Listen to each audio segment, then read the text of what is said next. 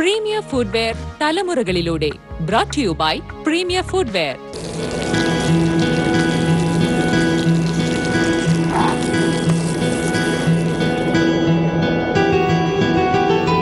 ഞാൻ R K Malayath. കഴിഞ്ഞ ആയിരത്തി തൊള്ളായിരത്തി അറുപത്തിയേഴ് മുതൽ ഞാൻ മാജിക് രംഗത്തുണ്ട്. മാജിക് രംഗത്ത് വരാനുള്ള പ്രധാനപ്പെട്ട കാരണം എന്തെന്ന് ചോദിച്ചാൽ കുട്ടികളായിരിക്കുമ്പോൾ എല്ലാവർക്കും ഈ അത്ഭുതങ്ങളിൽ വിജ്ഞാസമുണ്ടാകും ഇപ്പോഴും അങ്ങനെ തന്നെയാണ്. പുതിയ ഒരു മാജിക് കാണുമ്പോൾ നമുക്കത് മനസ്സിലാക്കാനും പഠിക്കാനും ഉള്ളതായ താല്പര്യമുണ്ടാകും അങ്ങനെ അലിഖാനിൽ നിന്നും വാഴക്കുന്നത്തിൽ നിന്നും മാജിക് പഠിക്കുകയും ആദ്യത്തെ സ്റ്റേജ് തന്നെ പ്രൊഫസർ വാഴക്കുന്നത്തിന്റെ കൂടെ അരങ്ങേറാനുള്ളതായ ഭാഗ്യം എനിക്കുണ്ടായി.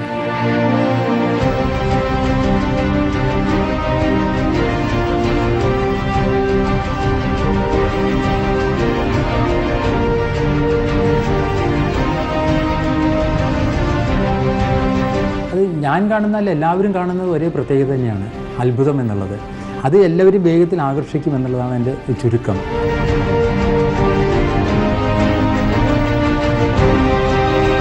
അപ്പോൾ എനിക്ക് ഓർമ്മ കിട്ടുന്നത് ഒരു കല്ലെടുത്തതിന് ശേഷം വന്ന് ജപിച്ചതിന് അത് ഒരു പൊന്മാനിന്റെ തലയായി മാറ്റുന്ന ഒരു വിദ്യ ഞാൻ കണ്ടു. അത് കുട്ടിക്കാലം ആയതുകൊണ്ട് എന്റെ മനസ്സിൽ വല്ലാതെ സ്ട്രൈക്ക് ചെയ്തു. അത് ചെയ്തിരിക്കുന്ന ഒരു പച്ചയായ മനുഷ്യനാണ് എന്നുള്ള ഒരു ബോധം അന്നും എനിക്കുണ്ടായിരുന്നു. അപ്പോൾ അദ്ദേഹത്തിന് അതുപോലെയുള്ളതായ വിദ്യകൾ കാണിക്കാൻ പറ്റുമ്പോൾ എന്തുകൊണ്ട് ജനങ്ങളെ ആകർഷിക്കാൻ കഴിയുന്നുണ്ടല്ലോ? എന്തുകൊണ്ട് എനിക്കും പഠിച്ചുകൂടാ? എന്നതാണ് എന്നെ പഠിക്കാൻ വേണ്ടി മാജിക്കിലേക്ക് നയിക്കുന്നത്.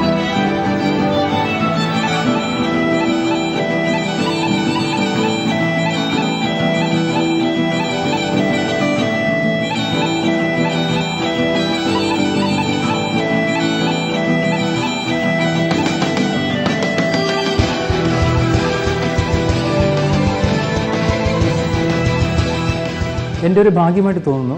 കാരണം എന്താ ചോദിച്ചാൽ പിന്നെ ഇന്ത്യയിൽ തന്നെ ആദ്യമായിട്ടാണ് ഒരു കുടുംബം മുഴുവൻ സ്റ്റേജിൽ മാജിക് അവതരിപ്പിക്കുന്നത്. സാധാരണഗതിയിൽ ജാലവിദ്യക്കാരുടെ ഭാര്യമാരൊക്കെ ഉണ്ടെങ്കിൽ അവരൊക്കെ സഹായികളായി അല്ലെങ്കിൽ ഒന്ന് ഒരു കട്ടിങ് ആപ്പറേറ്റസ് ആയിട്ടൊക്കെയാണ് അവർ വരാറുള്ളത്. ഇതെന്റെ ഭാര്യ പെർഫോമറായിട്ട് വരുന്നു.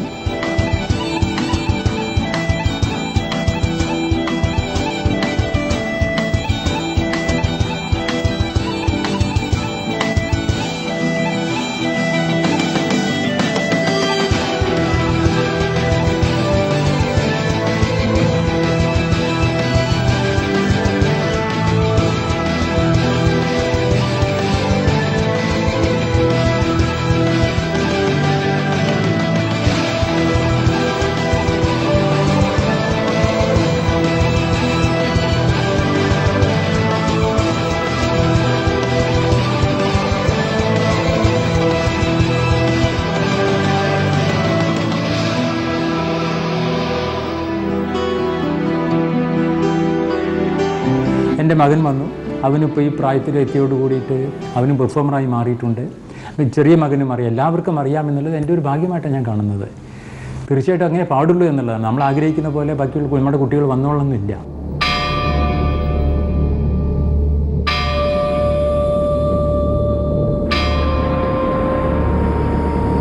പഴയ മാജിക് എന്നുള്ള ജാലവിദ്യക്കാണ് പ്രാധാന്യം കൊടുത്തിരുന്നത്. ഇപ്പോൾ പുതുതലമുറയിൽ വരുമ്പോൾ നമ്മളിപ്പോൾ ഏത് ഒരു കലാരൂപം എടുക്കുകയാണെങ്കിലും അതിന്റെ സെറ്റിങ്സ് അതായത് കളർഫുൾ എന്നാണ് എല്ലാവരും പറയുക ഏതൊരു ആദ്യം തന്നെ നമ്മൾ പറയുക കളർഫുൾ ആണോ അല്ലേ എന്നുള്ളതാണ് ചോദിക്കുക. അതുപോലെ തന്നെയാണ് മാജിക്കിന്റെ അവസ്ഥ. കളർഫുൾ ആണോ അല്ലെങ്കിൽ സ്റ്റേജ് എങ്ങനെയുണ്ട്? അപ്പോൾ ജാലവിദ്യ ചെയ്യുന്നത് കുറച്ച് കുറഞ്ഞു പോയാലും കുഴപ്പമില്ല. ലൈറ്റിന്റെ മുകളിലും സെറ്റിന്റെ മുകളിലും അങ്ങ് അഡ്ജസ്റ്റ് ചെയ്ത് പോയിക്കോളും എന്നുള്ള ധാരണയാണ് എല്ലാവർക്കും. പൊതുവെ കാണാൻ കണ്ണിന് കുളിർമ. എന്തായാലും ഒരു ജലവിദ്യ ആയാലും ഏതൊരു കലാരൂപമായാലും എന്റർടൈൻ ചെയ്യുക എന്നുള്ളതാണ് അതിന്റെ അവസാനത്തെ ലക്ഷ്യം. അച്ഛന്റെ ജാലവിദ്യ ഞാൻ ഇങ്ങനെ നമ്മൾ എത്ര കണ്ടാലും അത് ആസ്വദിച്ചിരിക്കാനുള്ള ഒരു ഏഹ്, പ്രവണത ഉണ്ട് അതിന്. അത് ഒന്നാമത് അച്ഛന്റെ വാക്ചാരിദ്യ എന്ന് പറയാം. കാരണം അത് ആ ചെയ് ഒരു ചെറിയ സാധനം ചെയ്യുകയാണെങ്കിലും അത് അതിന്റെ പെർഫെക്ഷനോട് കൂടിയിട്ടും അത് പറഞ്ഞ് ഫലിപ്പിച്ച് അത് ആൾക്കാരുടെ ഇടയിലേക്ക് അത് എത്തിക്കാൻ അച്ഛന് നല്ല ഒരു കഴിവുണ്ട്.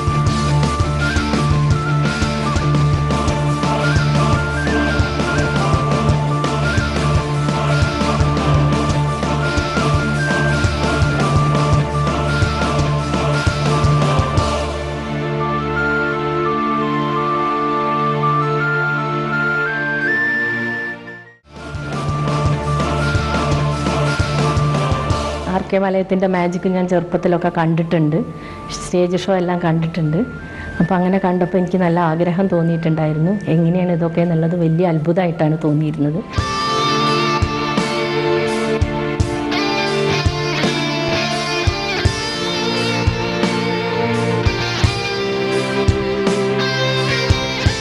ചെറിയൊരു പ്രേമത്തിലൊക്കെ പെട്ടിട്ടുണ്ടായിരുന്നു. ഈ മാജിക് കണ്ട് ഇഷ്ടപ്പെട്ടു. അങ്ങനെ ഒരു ദിവസം മാജിക് കാണിക്കുന്നത് കണ്ടപ്പോൾ ഇഷ്ടമായിട്ട് വളരെ വർത്തമാനങ്ങൾ പറഞ്ഞു. അങ്ങനെ അങ്ങനെയുള്ള അടുപ്പം പിന്നെ വലുതായപ്പോൾ കല്യാണത്തിലേക്ക് എത്തിച്ചു.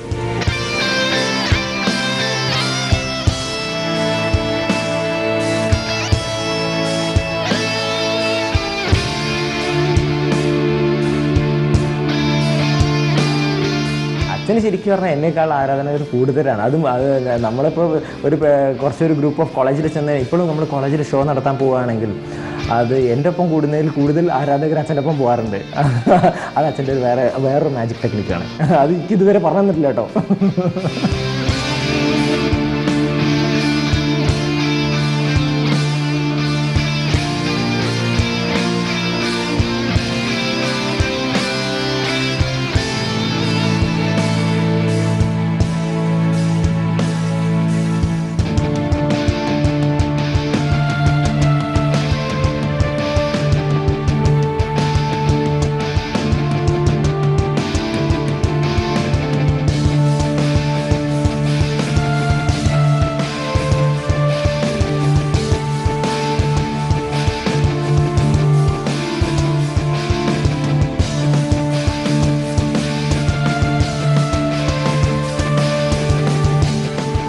ആദ്യകാലത്ത് എന്ന് പറഞ്ഞിട്ടുണ്ടെങ്കിൽ എന്ന് പറയാൻ ആരും ഉണ്ടായിട്ടില്ല. ഈ ഒരു മെജീഷ്യനെ മാത്രമേ ഞാൻ കേട്ടിട്ടുള്ളൂ കണ്ടിട്ടുള്ളൂ.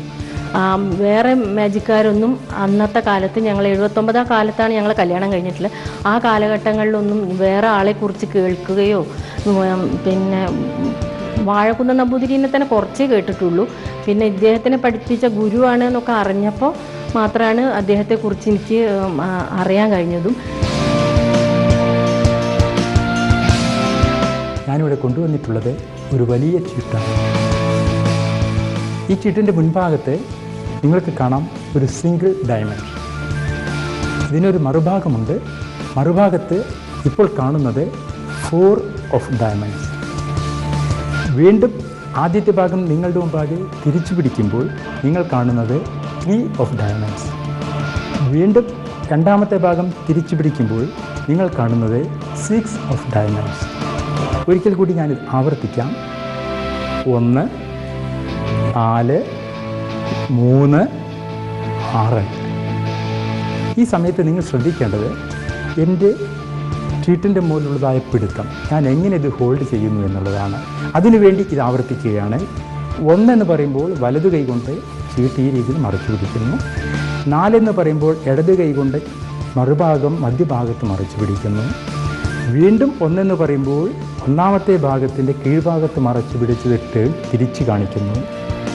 വീണ്ടും രണ്ടാമത്തെ ഭാഗം ആറെന്ന് പറയുമ്പോൾ ഈ രീതിയിൽ മറച്ചു പിടിക്കാം. ഒന്ന് കുറച്ചുകൂടി വേഗതയിൽ കാണിക്കാം.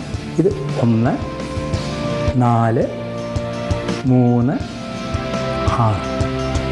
ഒന്ന് നാല് മൂന്ന് ആറ്. ഇനിയാണ് ഇതിന്റെ സൂത്രത്തിലേക്ക് നമ്മൾ വരുന്നത്. ഒന്ന് എന്ന് പറഞ്ഞ് ഒന്നാമത്തെ ഭാഗം കാണിക്കുമ്പോൾ യഥാർത്ഥത്തിൽ ഇവിടെ ഒന്നല്ല രണ്ട് പുള്ളികളുണ്ട്. കീഴ്ഭാഗത്തൊരു പുള്ളി വിരലുകൾ ഉപയോഗിച്ച് മറച്ചു വെച്ചിരിക്കുകയാണ്. വിരലുകൾ എടുത്തു മാറ്റിക്കഴിഞ്ഞാൽ രണ്ട് ടിപ്സ് നിങ്ങൾക്ക് കാണാൻ സാധിക്കുന്നു. രണ്ടാമത്തെ ഭാഗം നാല് എന്ന് പറഞ്ഞ് കാണിക്കുമ്പോൾ യഥാർത്ഥത്തിൽ നാലല്ല ഇടതുഭാഗത്ത് മധ്യഭാഗത്തായി ഒരു പുള്ളി കൂടിയുണ്ട്. വിരലുകൾ ഉപയോഗിച്ച് മറച്ചു വെച്ചിരിക്കുകയാണ്. ഇങ്ങനെ പിടിച്ച് നിങ്ങൾക്കിത് നാലെന്ന് തോന്നുന്നു. വീണ്ടും ഞാൻ ഒന്നാമത്തെ ഭാഗത്തേക്ക് വരുന്നു. മൂന്ന് എന്ന് പറഞ്ഞ് കാണിക്കുകയാണ്. മൂന്ന് എന്ന് പറഞ്ഞ് കാണിക്കുമ്പോൾ യഥാർത്ഥത്തിൽ ഇവിടെ ഉള്ളതായ പുള്ളികളുടെ എണ്ണം രണ്ട് മാത്രമാണ്. കീഴ്ഭാഗത്ത് പുള്ളിയില്ല വിരലുകൾ ഉപയോഗിച്ച് മറച്ചു വെച്ചിരിക്കുന്നു. ഇങ്ങനെ മറച്ചതിന് ശേഷം മൂന്ന് എന്ന് മുൻകൂട്ടി പറയുകയും നിങ്ങളുടെ മനസ്സിൽ മൂന്ന് എന്നുള്ളതിന്റെ ഒരു നിർദ്ദേശം ലഭിച്ച് നിങ്ങൾക്ക് ഇത് മൂന്നായി തോന്നുന്നു ഇത്രമാത്രം. തോന്നിപ്പിക്കലിന്റെ വിധിയാണല്ലോ മാജിക്ക് അതുപോലെ തന്നെ രണ്ടാമത്തെ ഭാഗം ആറ് എന്ന് പറഞ്ഞ് കാണിക്കുമ്പോൾ യഥാർത്ഥത്തിൽ ആറില്ല അഞ്ച് പുള്ളികളേ ഉള്ളൂ. മധ്യഭാഗം മറച്ചു വെച്ചിരിക്കുന്നു കാലിയാണ്. ഇങ്ങനെ പിടിച്ച് ആറെന്ന് പറയുമ്പോൾ ആറായും ഇങ്ങനെ പിടിച്ച് നാല് എന്ന് പറയുമ്പോൾ നാലായും നിങ്ങൾക്ക് തോന്നുന്നു. ആദ്യത്തെ ഭാഗം കാണിച്ചതുപോലെ ഈ രീതിയിൽ പിടിച്ച് ഒന്നെന്ന് പറഞ്ഞ് യഥാർത്ഥത്തിൽ രണ്ട് ഒന്നായും. ഈ രീതിയിൽ പിടിച്ച് മൂന്ന് എന്ന് പറഞ്ഞ് കാണിക്കുമ്പോൾ യഥാർത്ഥത്തിൽ രണ്ട് പക്ഷേ മൂന്നായും നിങ്ങൾക്ക് അനുഭവപ്പെടുന്നു എന്നുള്ളതാണ് മാജിക് ഇത്തരത്തിൽ ആണ് യഥാർത്ഥത്തിൽ ജാലവിദ്യക്കാർ സദസ്സിനെ രസിപ്പിക്കുന്നത്. ഒന്ന് നാല് മൂന്ന് ആറ് എന്നിങ്ങനെ. ഒന്നാമത്തെ ഭാഗം അതിന്റെ ഒരു ക്ലൈമാക്സ് കൂടി വരാനുണ്ട്. ഇത് പഠിച്ചിട്ടുള്ളവർ നിങ്ങളുണ്ടാ നിങ്ങളിലുണ്ടാകാം അതുകൊണ്ട് തന്നെ ജാലവിദ്യ കാണിക്കുമ്പോൾ എനിക്കിതറിയാം എനിക്കിതറിയാം എന്ന് നിങ്ങൾ പറയും. അങ്ങനെയുള്ളവരുണ്ടാകുമ്പോഴാണ് ഞങ്ങൾ പറയുന്നത് ഈ ഭാഗത്ത് നിങ്ങൾ കാണുന്നത് ഒന്നാണ്. യഥാർത്ഥത്തിൽ ഒന്നല്ലേ എന്ന് ചോദിച്ചാൽ നിങ്ങൾ പറയും ഒന്നല്ല രണ്ടാണെന്ന്. അത്തരം സന്ദർഭത്തിൽ കീഴ്ഭാഗത്തുള്ള പുള്ളിയെ ഈ രീതിയിൽ കീഴ്പോട്ടെടുത്ത് വായുവിൽ കീഴിലേക്ക് ലയിപ്പിച്ച് കളയുന്നു. ഇപ്പോൾ നിങ്ങൾ കാണുന്നത് ഒന്ന് മാത്രമാണ്. അതുപോലെ തന്നെ നാല് എന്ന് പറഞ്ഞ് മറുഭാഗം കാണിക്കുമ്പോൾ യഥാർത്ഥത്തിൽ മധ്യഭാഗത്തുള്ള പുള്ളിയെ ഈ രീതിയിൽ പുറത്തേക്ക് എടുത്ത് വായുവിൽ ഇങ്ങനെ ലയിപ്പിച്ച് കളയുന്നു. ഇതാണ് പറയുന്നത് നിങ്ങൾക്ക് പലപ്പോഴും നിങ്ങളുടെ കണ്ണുകൾ വിശ്വസിക്കാൻ സാധ്യമാവില്ല എന്ന്. വീണ്ടും ഒന്നാമത്തെ ഭാഗത്തേക്ക് തന്നെ വരികയാണ്. ഇപ്പോൾ ഞാൻ പറയുന്നത് ഇത് നിങ്ങൾ കാണുന്നത് മൂന്നാണ് എന്നാണ്. പക്ഷേ മൂന്ന് എന്ന് പറയുമ്പോൾ നിങ്ങൾക്ക് വിശ്വസിക്കാൻ വിഷമം ഉണ്ടാകാം വിരലുകൾ എടുത്തു മാറ്റിക്കഴിഞ്ഞാൽ നിങ്ങൾ പരിപൂർണമായി കാണുന്നത് മൂന്ന് പുള്ളികളാണ്. വീണ്ടും രണ്ടാമത്തെ ഭാഗം ആറ് എന്ന് പറഞ്ഞ് കാണിക്കുമ്പോൾ ഒരു പക്ഷേ നിങ്ങൾ പറഞ്ഞേക്കാം അഞ്ച് മാത്രമേ ഉള്ളൂ എന്ന്. പക്ഷേ ഇവിടെയുള്ള പുള്ളി വായുവിലൂടെ എടുത്ത് വിരലിന്റെ മുകളിൽ വെച്ച് ഒട്ടിച്ച് ഈ വിരലുകൾ എടുത്തു മാറ്റുമ്പോൾ നിങ്ങൾക്ക് കാണാൻ സാധിക്കുന്നത് ആറാണ്. ജാലുവിജയക്കാർ മാജിക് അവതരിപ്പിക്കുമ്പോൾ നിങ്ങൾക്ക് നിങ്ങളുടെ കണ്ണുകളെ വിശ്വസിക്കാൻ സാധ്യമാകുന്നില്ല. അതാണ് പറയുന്നത് ഈ ചീട്ട് മാജിക് ആരംഭിക്കുന്ന ഘട്ടത്തിൽ തന്നെ ഇതിന്റെ ഒന്നാമത്തെ ഭാഗം മൂന്ന് പുള്ളികളും മറുഭാഗത്ത് നിങ്ങൾ വിചാരിക്കുന്ന രീതിയിലായിരുന്നില്ല. അഞ്ചോ ആറോ ഏഴോ ഒന്നുമല്ല. നിറയെ പുള്ളികൾ എട്ട് ഡയമണ്ട്സ് എയ്റ്റ് ഓഫ് ഡയമണ്ട്സ് മറുഭാഗത്തും മൂന്ന് ഒന്നാമത്തെ ഭാഗത്തും ആയി ഞാനിത് ആരംഭിച്ചു. ഇടയ്ക്കുള്ളതൊക്കെ നിങ്ങൾക്ക് കാണാൻ വിട്ടുപോയതാണ്. അതാണ് ജാലവിദ്യയുടെ രഹസ്യം എന്ന് പറയുന്നത്.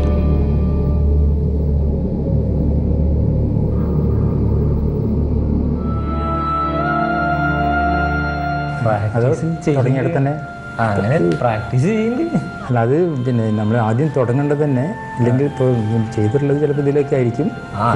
പറഞ്ഞല്ലേ അത് പറഞ്ഞു തന്നാന്ന് പറഞ്ഞാൽ പോരത്. അത് ചെയ്തു കൂടി കാണിക്കണ്ടേ നിങ്ങോട്ട് കാണിക്കുന്നില്ലല്ലോ. ഇതിപ്പോൾ നമ്മൾ ചെയ്യുന്നത് ഇപ്പോൾ അതിന്റെ ബേസിക് എന്ന് പറയുന്നത് എങ്ങനെയാണ്? കോയിൻ എടുക്കുക ഈ കയ്യിലേക്ക് വെക്കുക. എന്നിട്ട് ഇവിടെ ജസ്റ്റ് ഈ വൺ ടു ത്രീ എന്ന് പറഞ്ഞ് ഒന്ന് പോകുക ഒന്ന് ഊതിയിട്ട് ആദ്യം ഇങ്ങനെ പിടിക്കണം. ഇങ്ങനെ പിടിച്ച് ജസ്റ്റ് വാനിഷ് എന്ന് പറഞ്ഞാൽ ഇങ്ങനെ പോകും. അപ്പോൾ ആൾക്കാർ പറയും അതിന്റെ ഉള്ളിലുണ്ട് എന്നുള്ളത്. അപ്പോൾ നമ്മൾ വീണ്ടും ഇങ്ങനെ പിടിക്കുക എന്നിട്ട് തുറന്ന് കാണിച്ചു കൊടുക്കുക അപ്പോൾ കാണുന്നില്ല. ആ. എന്നിട്ടുള്ളത് ആണ് നമ്മൾ പിന്നെ എടുക്കേണ്ടത്. ജസ്റ്റ് ഇവിടുന്ന് എടുക്കാം. അപ്പം അങ്ങനെ വിചാരിച്ചിടത്ത് എടുക്കാൻ കഴിയുന്നുള്ളതാണ് അതിന് ആവശ്യം എന്താ ചോദിച്ചിട്ടുണ്ടെങ്കിൽ പ്രാക്ടീസാണ് അത് വെറും ഇതേ നമ്മൾ ഇരുന്നിട്ട് സ്റ്റേജിൽ ചെയ്യുന്ന പോലെ അല്ല ഇത്.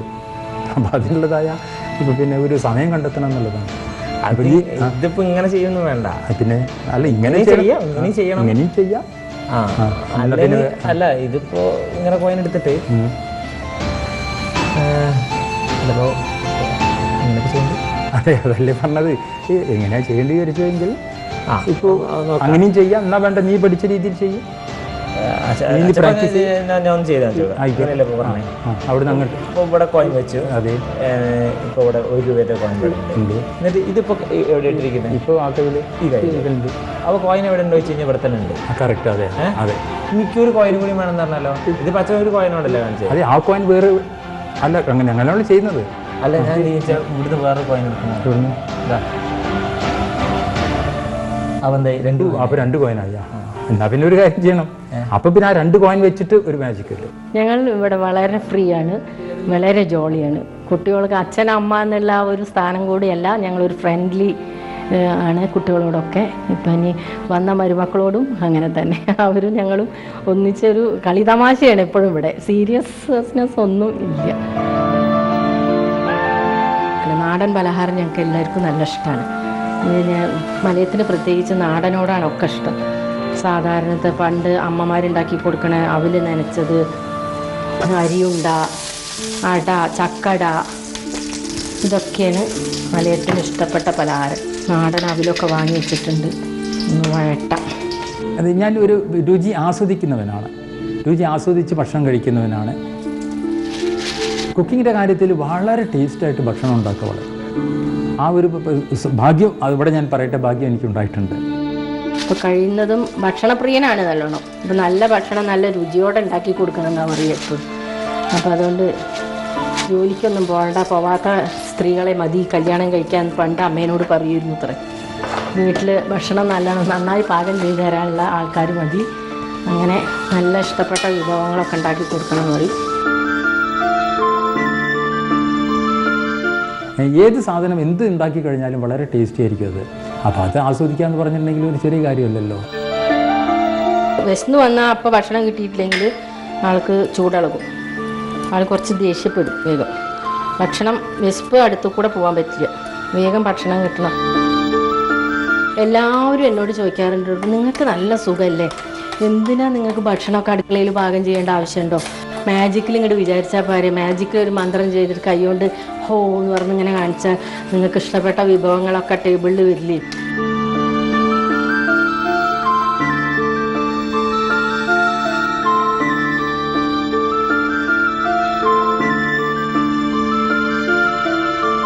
കഴിഞ്ഞില്ലേ? നോക്കുവാ ചേട്ടാ എന്തറിയോ? ഇതിപ്പോ അവസാനമായി ഏതായാലും പണി. അവസാനം? വിശക്കുണ്ടോ? കുറേ നേരമായില്ലേ തുടങ്ങിയിട്ട്. ആ അതെന്താച്ചാ? ആ. കുറച്ച് പണിയില്ലേ? ഇത് എന്തൊക്കെ വേണം? നെയ്യ് ചൂടാക്കണം ചട്ടി ചൂടാവണം. അണ്ടിപ്പരിപ്പ് മുന്തി അണ്ടിപ്പരിപ്പ് കൊണ്ടുവരാൻ പറഞ്ഞിട്ട് കൊണ്ടുവന്നില്ലേ അണ്ടിപ്പരിപ്പ് അണ്ടിപ്പരിപ്പില്ലേ ഉള്ളത് വെച്ചിട്ട് അഡ്ജസ്റ്റ് ചെയ്യുക അങ്ങനെയല്ലേ ചെയ്യാൻ സാധാരണ. ഹാപ്പിയാണ് വളരെ ഹാപ്പിയാണെന്ന് തന്നെ തന്നെ പറയണം. കാരണം ജീവിതം എന്നുള്ളത് ഒന്നേ ഉള്ളൂ എന്നാണ് ഞാൻ വിശ്വസിക്കുന്നത്. ആ ഒരു ജീവിത കാലഘട്ടത്തിൽ നമ്മൾ കുടുംബം സുഖവും സന്തോഷവുമായിട്ട് കഴിയുക സമാധാനപരമായിട്ട് കഴിയുക പിന്നെ നമ്മളെ കൊണ്ട് കഴിയുന്ന കാര്യങ്ങൾ സമൂഹത്തിന് ചെയ്തു കൊടുക്കുക. അല്ല, അല്ല ചെറിയതായിട്ടൊന്ന് പുക പോയി. അറിയോ? ഈ ചട്ടി എത്ര അങ്ങോട്ട് വിശ്വസിക്കാൻ പറ്റിയ ചട്ടി അത് കപ്പ പുകയാളു. ചട്ടിയുടെ കുഴപ്പമാണ്. എല്ലാവർക്കും അങ്ങനെ തന്നെ പറയാം. ഇതാണ് നമ്മുടെ ജീവിതത്തിലെ വിഷയം അല്ലാതെ വളരെയധികം പണം ഉണ്ടാക്കുക എന്നിട്ട് പണത്തിന്റെ മീതെ നമ്മൾ അടയിരിക്കുക അല്ലെങ്കിൽ പബ്ലിസിറ്റിക്ക് വേണ്ടി നമ്മൾ നമ്മുടെ ജീവിതത്തെ ആകെ ടെൻഷൻ അടിച്ച് മാറ്റിവെക്കുക എന്നുള്ളതിൽ ഞാൻ വിശ്വസിക്കുന്നില്ല എന്നർത്ഥം. എ ടി എം കാർഡ് കൊണ്ടുള്ള ഒരു ജാലവിദ്യയാണ് ഞാനിവിടെ കാണിക്കാൻ പോകുന്നത്. നമുക്കെല്ലാവർക്കും സുപരിചിതമായ A T M card okay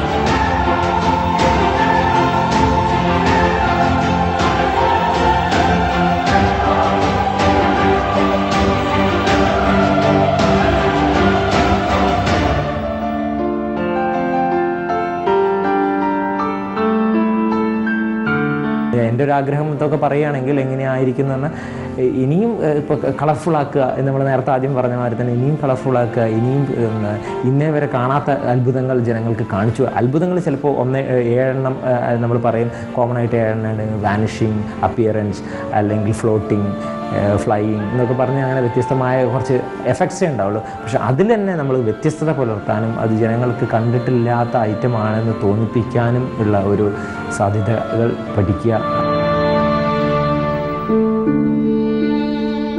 അച്ഛൻ ആദ്യക്ക് പഠിപ്പിച്ചിരുന്ന ഐറ്റം അത് ഞാൻ ഇവിടെ എത്തിച്ചിട്ടുണ്ടായിരുന്നു കാണിക്കാൻ വേണ്ടി ഈ ഇതേമാരത്തെ ഇതുകൊണ്ട്.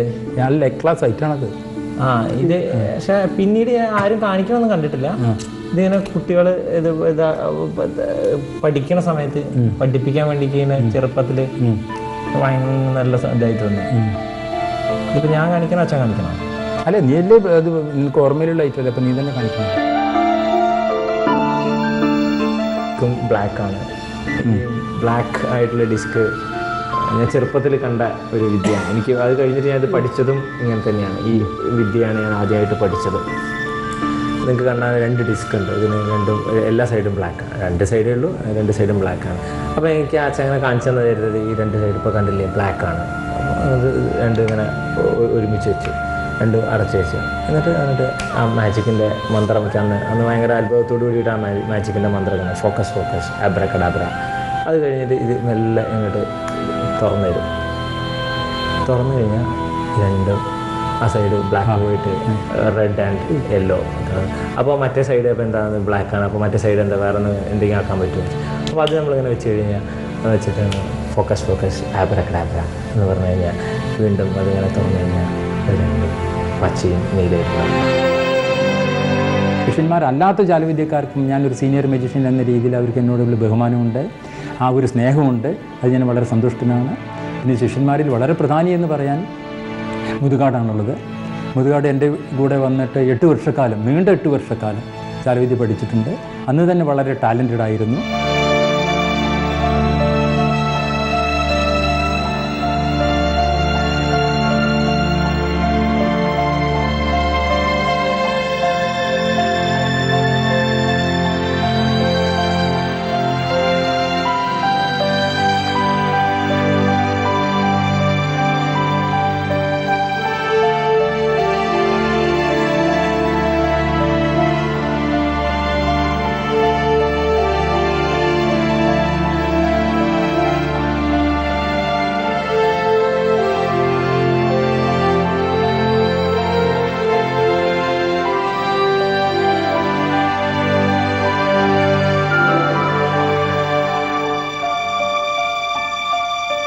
കുടുംബത്തോടും ഈ മറ്റുള്ള ജാലവിദ്യക്കാരോടും എനിക്ക് പറയാനുള്ളത് മാത്രമാണ്. ജാലവിദ്യ എന്ന കലയെ നശിപ്പിക്കരുത് അതിന് പ്രോത്സാഹനം കൊടുക്കുക അതിന് വേണമെന്നുണ്ടെങ്കിൽ രഹസ്യങ്ങൾ കാത്തു സൂക്ഷിക്കണം നല്ല രീതിയിൽ അവതരിപ്പിക്കണം സമൂഹത്തിന് വേണ്ടി എന്തെങ്കിലും ചെയ്തു കൊടുക്കണം. ഇത് മാത്രം പറയാനുള്ളത്. ഈ കൈ ബ്ലാങ്കാണ് ഇത് അതിന് ശേഷം നമ്മൾ ഇവിടുത്തെ വെറുതെ ഒന്നിങ്ങനെ മുകളിൽ തടവിന് ശേഷം ഇവിടെ മുകളിൽ ഇങ്ങനെ പിടിച്ച് ഇത്രയും പിടി പ്ലെയിനായിട്ട് ചെയ്യുക. ഇനി കൈ കാണിക്കാനാണ് പറയുന്നത് കൈ കാണിക്കൂ. കൈ കാണിച്ചു ഒന്നിങ്ങനെ വീശി തരുമ്പോൾ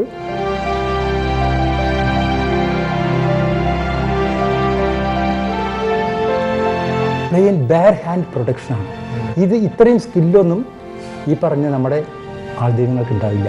ഇത് കാണിച്ചിട്ടാണ് ഇവർ മനുഷ്യനെ പറ്റിക്കുന്നത്.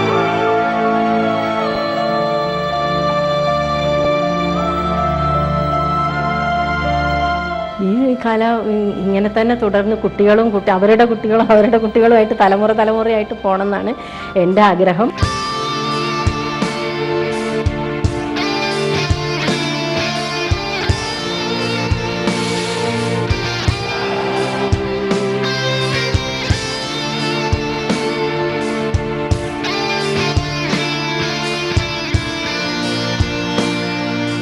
യാതൊരുവിധ കൂസലുമില്ലാതെ എത്രമാത്രം ബലവും ഈ ശരീരം താങ്ങുന്നു അതിനുള്ളതായ കരുത്ത് ലഭിച്ചിരിക്കുകയാണ്.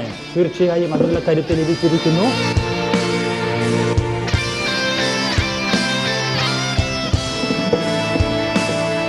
സാവകാശത്തിൽ ഏതാനും നിമിഷങ്ങൾക്കുള്ളിൽ ശരീരം ഇപ്പോൾ ഞാൻ തിരിച്ചു തടവുന്നതോടുകൂടി പഴയതുപോലെ ആകുന്നു.